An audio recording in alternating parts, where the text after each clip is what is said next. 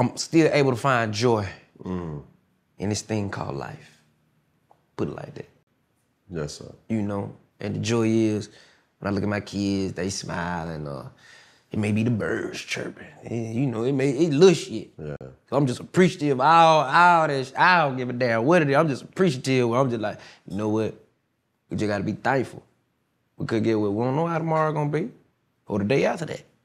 So just be thankful of the of the shit you got. You ain't gotta go to prison and realize, God damn, it's a nigga in prison right now. Wish he could open up a refrigerator. That's all he wanna do.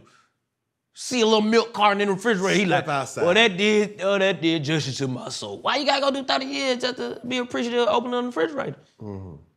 Be appreciative now.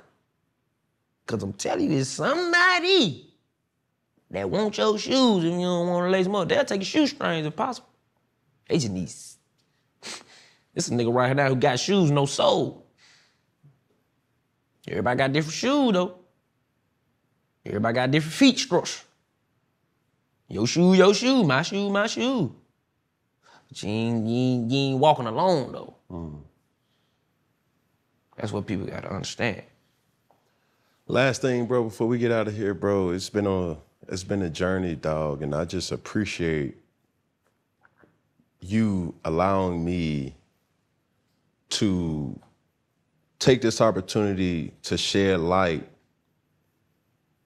on your situation. What's up? Bro, you the you- only nigga that can do that though. Nah, everybody out there, don't be calling me. No, this Yeah. it. Ain't no. But nah. it took it took some time. Like